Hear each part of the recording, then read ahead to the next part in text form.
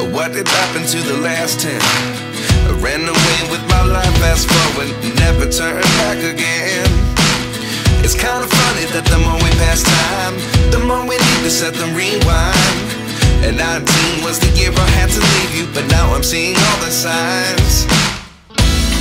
Is this really happening? I can't believe it's true.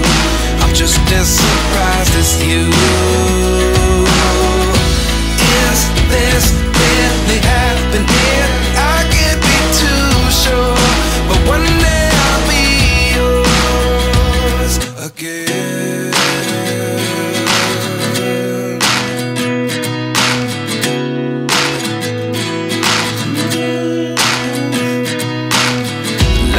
Lessons come one in a dozen.